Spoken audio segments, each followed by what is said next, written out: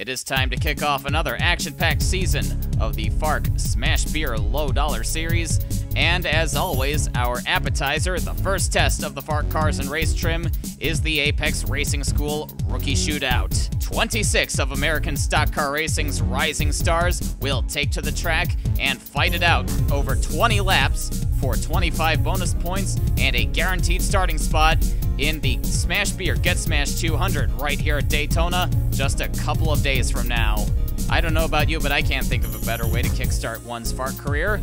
Now let's have a look at the starting lineup. Uh, starting positions for this race are randomly drawn, and drawing the pole would be Laser Motorsports' uh, Jackie Thompson in car number 92. The um, only time this weekend that the second Laser Motorsports car will be on track, they will not be entering car number 92 for the Smash Beer 200. Starting on Thompson's outside will be Farrell Burgundy in number four. Row two, Chuck Johnson and Kira Smith in the third um, Terra International Motorsports car.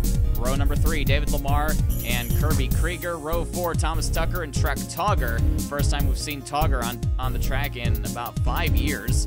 Uh, row number five, Kyler Spividal, Troy Peterson going full time for Dale Clow Racing. Todd Lacey and Liam O'Connor, row six. Row seven, Dale Clow himself and Jack Ashcroft in the second Ashcroft car. Row eight, Ronnie Holter for Team Burr and Naomi Alanko for the new Denman Motorsports team. Uh, row number nine, Winston Orwell and Max Chevilin. Row 10, Kenny George III and Stan Coleman. Row 11, Zach Denman and Zidane Quackenbush, the 15 year old. And now the last two rows, Art Gordon in the primary Laser Motorsports car, number 91, Tiffany Birch in the Green or Die Racing entry, and starting shotgun on the field, Rebel Denman and Gio Arias. Let's head to the action now as the pace car leaves the field in the hands of Jackie Thompson in the number 92 for Laser Motorsports. Green flag is in the air, and that's not a very good start for Jackie Thompson as Farrell Burgundy takes off around the outside. Uh, Thompson must have missed a shift or something as they see Kira Smith now following Burgundy around to second place. There goes Chuck Johnson in the 46 as well. Yeah, Thompson's definitely holding up the field as they head out of turn two. And looks like uh, we got quite a few slow cars at the front of this pack as there's big, big, big wad of cars behind the top four, top five as Burgundy leads the first lap. Now here comes Thomas Tucker in that green car, car number 99. Uh, Tucker was initially held up by the slower cars all the way through turn two, but it didn't take him long to catch the leaders and eventually challenge Burgundy for uh, for the top spot around the inside. Only car on the inside there, so uh, drafting didn't uh, drafting wasn't necessary for Tucker to assume the race lead. Now going on board with uh, Gio, Gio Arias started in last place and is trying to get to the front of the field, but uh, maybe trying a little too hard as he gets into the back of Zidane Quackenbush. Fortunately, Quackenbush is able to keep it together, but I doubt he's too happy with Gio Arias right now. Four wide is not going to work as Winston Orwell finds out, spinning off the bumper of Todd Lacey. There's Troy Peterson. Hello, Peterson. Uh, spinning himself out, uh, trying to react to this mess. He, uh, he in fact got into the back of his car owner Dale Clow. Clow was held up by the by the 24. Now under caution. First caution, lap four. Under this caution, Tiffany Birch pulls her 422 car behind the wall. Restart, lap number nine. Thomas Tucker gets away as Chuck Johnson gets a terrible start in that 46 and holds everybody up. But unfortunately for Tucker, while a big start might work at a short track or a speedway, right here at Daytona, everyone's just going to catch back up. Jack Ashcroft has to pull his 94 car into the pits, and he's going to lose a he's going to lose a lap and then fall way behind, likely lose another lap running by himself.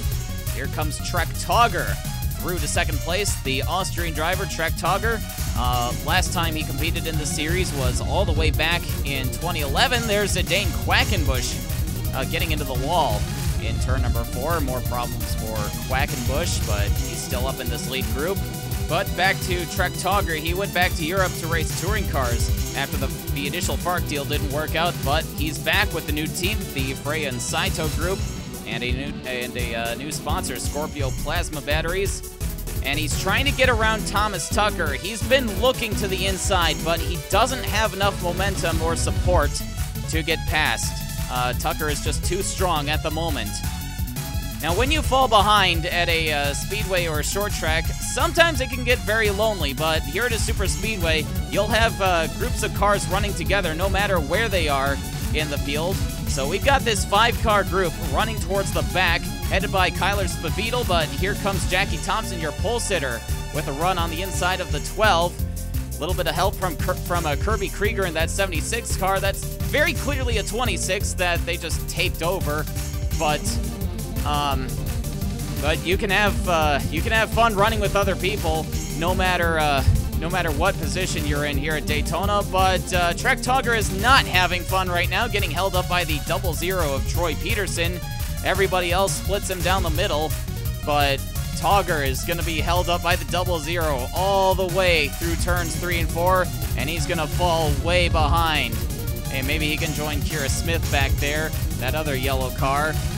Maybe you can have fun with her for a while uh, for the rest of this race. Not too many laps to go. It's only a 20-lap race, but Kirby Krieger now falls victim to mechanical troubles. He's very slow on the inside, but he will make it back to the pits without uh, needing a late caution.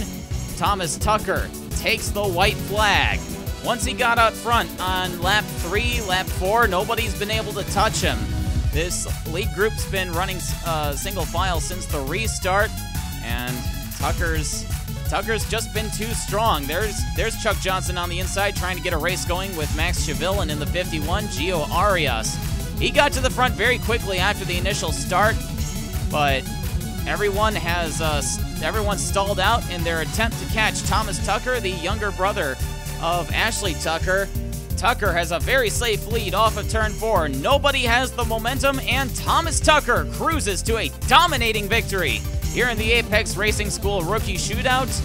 With a performance like that, Ashcroft Family Racing has got to be beaming about their chances in the Smash Beer Get Smashed 200.